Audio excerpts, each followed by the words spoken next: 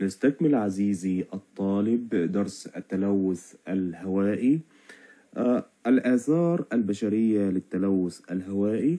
النقطة الأولى زيادة الأمراض لسكان المدن والمناطق القريبة من التجمعات الصناعية.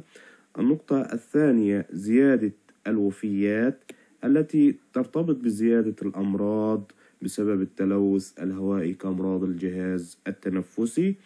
أيضا النقطة الثالثة انخفاض الإنتاجية الزراعية بسبب تركز أحد الغازات في الغلاف الجوي مما يقلل إنتاجية التربة.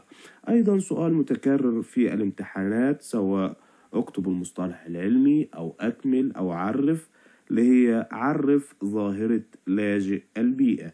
ما هي ظاهرة لاجئ البيئة هي تحدث بسبب انخفاض إنتاجية المحاصيل الزراعية وتأثر مكونات التربة بسبب إيه؟ بسبب زيادة تركيز أحد الغازات في الغلاف الجوي أيضا عزيزي الطالب من ضمن الأسئلة التي جاءت في تلك النقطة أيضا يترتب على التلوث الهوائي مجموعة من الآثار البشرية ليس من بينها.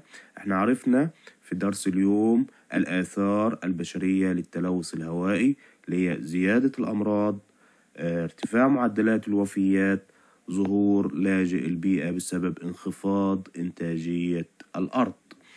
ليس من بينها التكلفة الباهظة للأضرار البيئية. ليس من بينها إيه؟ التكلفة الباهظة للأضرار البيئية. دي تعتبر نتيجة اقتصادية. أيضا من ضمن الأسئلة التي جاءت في الآثار البشرية للتلوث الهوائي آه، عدد النتائج المترتبة على كل مما يلي. زيادة التلوث الهوائي على سكان المدن والمناطق القريبة منها.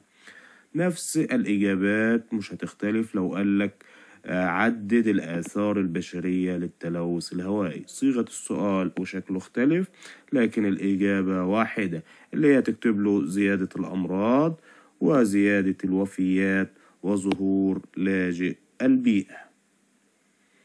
ننتقل عزيزي الطالب إلى نقطة أخرى في الدرس عن الآثار الاقتصادية للتلوث الهوائي. بيجي سؤال في الامتحان يقول لك اذكر الآثار الاقتصادية للتلوث الهوائي أو بشكل آخر يقول لك دلل على صحة العبارات التالية للتلوث الهوائي العديد من الآثار الاقتصادية السلبية. الإجابة الأولى معالجة هذا الهواء باهظة التكاليف وصعبة للغاية. أيضا الإضرار بالموارد المائية والأسماك حيث تتكبد أمريكا حوالي 3 مليار دولار سنويا جراء ذلك.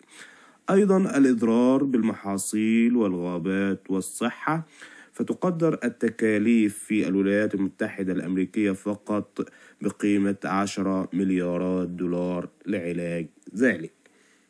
العزيز الطالب إلى نقطة أخيرة في الدرس عن كيف نعالج تلك الآثار البشرية والآثار الاقتصادية وما هي مقترحاتك لمعالجة التلوث الهوائي.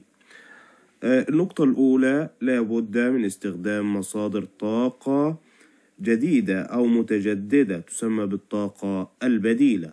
أيضا التوسع في زراعة الأشجار حول جوانب الطرق والمدن لتنقية الهواء وتقليل سرعة الرياح المحملة بالأتربة.